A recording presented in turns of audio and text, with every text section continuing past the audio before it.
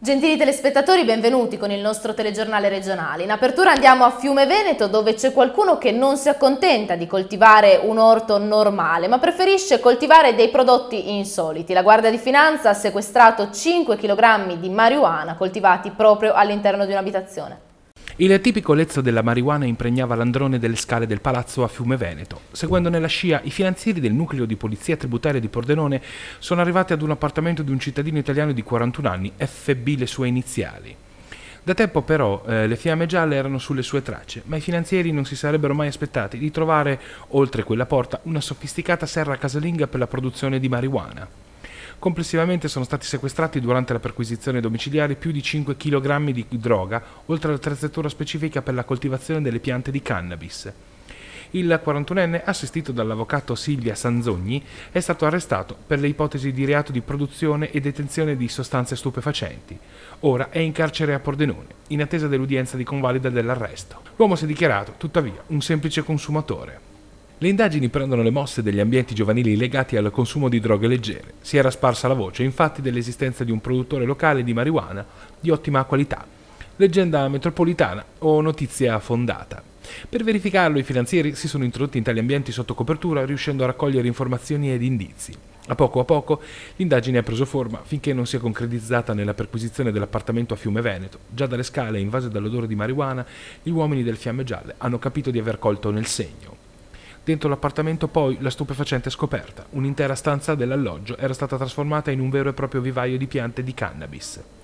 Grazie ad una serie di studiati accorgimenti, infatti nel locale erano state riprodotte alla perfezione le particolari condizioni di temperatura, irrigazione e umidità necessarie per la coltivazione ottimale delle piante di canapa indiana, dalle cui infiorescenze vengono ricavate hashish e marijuana.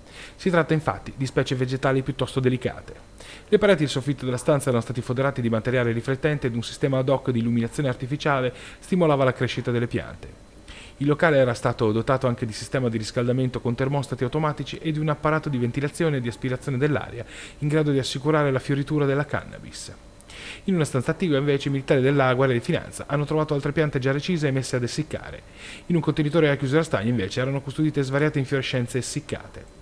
Sono state sequestrate anche bustine di semi di cannabis da piantare, nonché vario materiale specifico per la coltivazione. In tutto sono stati sequestrati 5.1 kg di marijuana. Andiamo ora a Pordenone e parliamo del duplice omicidio di Trifone Ragone e Teresa Costanza. Prima dell'omicidio ci sono state chiamate a raffica tra Giosuè Ruotolo e la fidanzata e poi lui è andato al Palasport. Una serie appunto ininterrotta di telefonate tra Giosuè Ruotolo e la fidanzata ha preceduto l'agguato nel parcheggio del Palasport.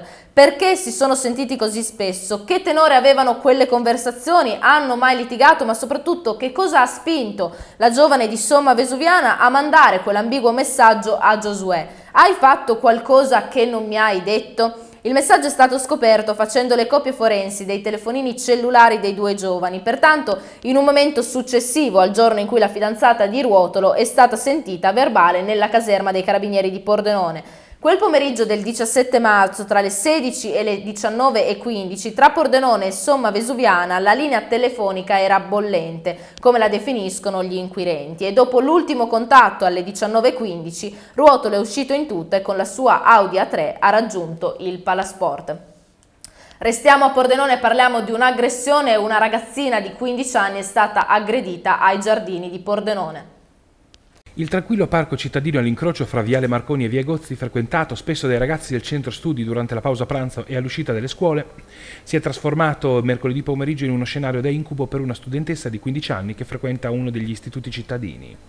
Proprio qui l'adolescente è rimasta vittima di una brutale aggressione a sfondo sessuale da parte di uno sconosciuto, in pieno giorno, all'ombra delle profumate magnolie che circondano i giardini pubblici. La ragazzina era seduta su una panchina con una sua compagna di classe e stava mangiando un panino dopo le lezioni, quando un uomo sulla trentina che stava evidentemente osservando le due amiche le ha fatto cenno di avvicinarsi.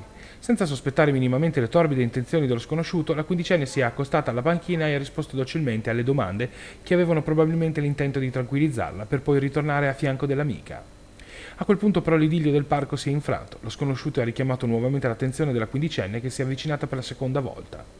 L'uomo però l'ha ghermita all'improvviso e l'ha trascinata dietro un'alta siepe contro il tronco di un albero, tappandole la bocca con una mano per impedirle di gridare e chiedere aiuto mentre dava corso alla violenza sessuale, tentando di baciarla e di toccarla, arrivando anche a denudarsi parzialmente. La ragazzina sotto shock e in lacrime ha cercato a più riprese di liberarsi invano dalla morsa dell'aggressore.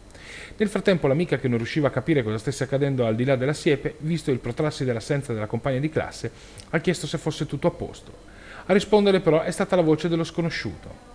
Approfittando di questo istante di distrazione, l'adolescente è riuscita a divincolarsi dalla violenta presa dell'uomo e a rifugiarsi nell'abbraccio della compagna di classe. L'aggressore invece è scappato via, facendo perdere le sue tracce. Fra le lacrime, la vittima della violenza sessuale si è confidata con l'amica e poi anche con alcuni professori della scuola. Del caso è stata informata anche la dirigenza scolastica. I familiari della quindicenne hanno quindi sporto denuncia. L'ipotesi di reato è violenza sessuale aggravata. Subito sono scattate le indagini della Polizia di Stato, ancora in corso per cercare di individuare il responsabile dell'aggressione. Il gravissimo episodio è all'attenzione della Procura dei minorenni presso il Tribunale di Trieste e dell'autorità giudiziaria di Pordenone con il PM Monica Carraturo. Ci spostiamo ora a Villotta di Chions dove c'è stato un grande successo eh, all'incontro con Don Marco Pozza sul tema Impariamo a volare, la forza dirompente di un sogno, un tema che è molto sentito per la lotta al bullismo. Giovedì 3 dicembre alle 9.30 presso il Palazzetto dello Sport di Villotta di Chions, l'Istituto Comprensivo di Chions, scuole secondarie di primo grado di Chions e Pravis Dominis con oltre 300 ragazzi e ragazze, ha partecipato all'incontro con Don Marco Pozza, conosciuto come Don Spritz. Il tema Impariamo a volare, la forza dirompente di un sogno, è parte integrante del progetto Amici del Cuore, basato sulla prevenzione del bullismo. Il progetto Dove sono io, dove inizia l'altro, impariamo a volare, vuole essere un contenitore nel quale sono state inserite alcune offerte al fine di marginare eventuali disagi ed aiutare indistintamente i ragazzi e le ragazze ad avere maggiore consapevolezza di sé e autostima.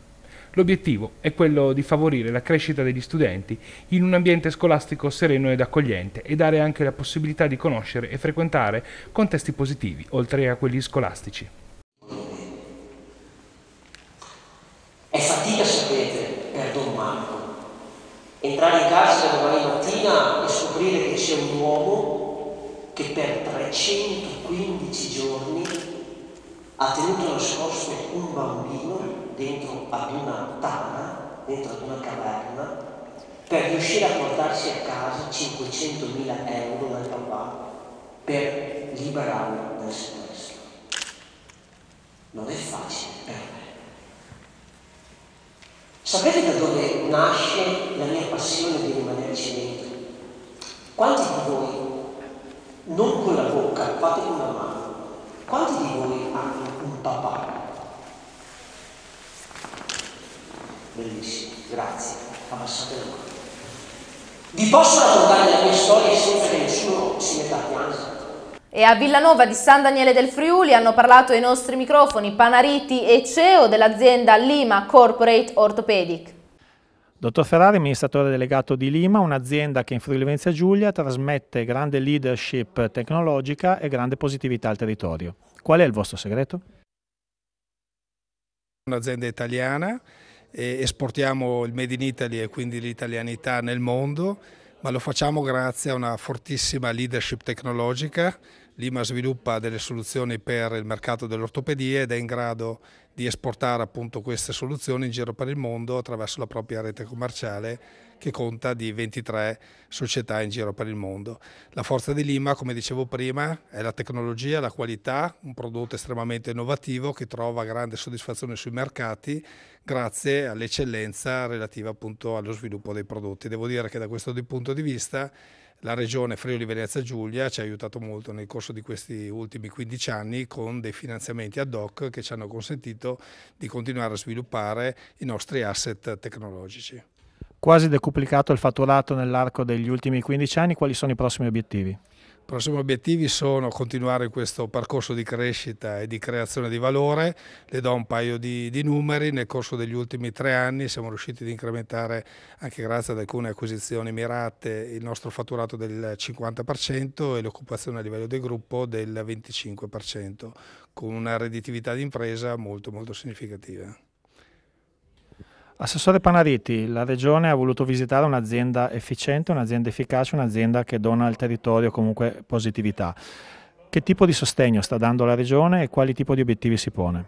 Per quanto riguarda la ricerca, la Regione è intervenuta proprio per quanto riguarda il finanziamento delle macchine che permettono la produzione di eh, protesi mh, ad personam fatte sulle persone per casi particolari. E credo che si tratti di un'azienda molto importante, un'azienda innovativa, capace di avere radici sul territorio e di guardare verso mercati globali eh, importante anche perché eh, ha manodopera di grande qualità, ci sono ingegneri, ci sono tecnici e quindi siamo interessati anche a lavorare insieme per quanto riguarda gli assegni di ricerca e dottorati e di far crescere l'occupazione, cosa che mi pare è stata appena affermata dall'amministratore delegato. Ci spostiamo ora a Buia, da incrocio regolato con un semaforo a rotonda. Sarà questo il nuovo volto dell'intersezione tra la strada provinciale Osovana e la strada provinciale Giuliese e nel 2016 appunto sarà pronta la rotonda. Da intersezione regolata da semaforo a rotonda.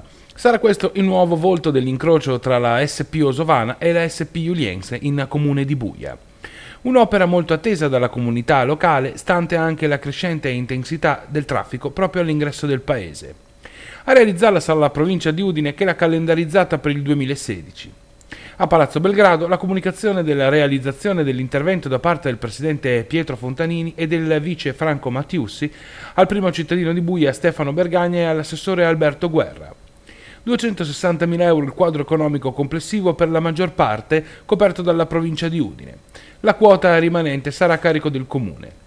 Siamo molto soddisfatti per la prossima realizzazione di quest'opera, ha commentato il sindaco Bergagna, che senza dubbio contribuirà a snellire il traffico, rendere la circolazione più sicura e a ridurre l'incidenza dell'inquinamento, evitando la sosta al semaforo. Per il comune del 2016 questa sarà l'opera viabilistica più importante. Le due amministrazioni sottoscriveranno un accordo di collaborazione in cui verranno formalizzate le caratteristiche tecniche, procedurali e progettuali. I tempi di realizzazione saranno brevi, garantisce il vice Mattiussi, in quanto non è necessaria la procedura espropriativa, visto che il sedime è di nostra proprietà. Oltre alla rotonda, la provincia di Udine riserverà un occhio di riguardo anche per pedoni e ciclisti, tant'è che aggiunge il vice Mattiussi, sarà data continuità ai percorsi ciclopedonali esistenti lungo la Iuriense verso Tonzolano. La rotonda avrà un diametro esterno sull'ordine dei 40 metri e sarà dotata di impianto di illuminazione pubblica. Verranno eseguite anche opere integrative e funzionali al restyling dell'incrocio. Ci spostiamo ora a Udine e parliamo di beni culturali perché sono stati assegnati 42.000 euro proprio per i lavori di restauro. La provincia di Udine ha assegnato contributi pari ai complessivi 42.000 euro per interventi di restauro di beni culturali minori, sono otto le opere che grazie al contributo dell'amministrazione provinciale potranno essere rimesse a nuovo. Scopo del contributo infatti è dare nuova vita a decori e oggetti di valore custoditi negli uffici religiosi e in quelli civili di carattere monumentale come dipinti, pale d'altare, statue, lapidi. Sono piccoli tesori che impreziosiscono il nostro patrimonio storico ed artistico, commenta l'assessore Musto. Sono opere di grande valore per le comunità locali, non sempre visibili dal grande pubblico e per le loro caratteristiche storiche, culturali e religiose rappresentano un'originale opportunità di conoscenza del territorio e di valorizzazione in chiave culturale e turistica.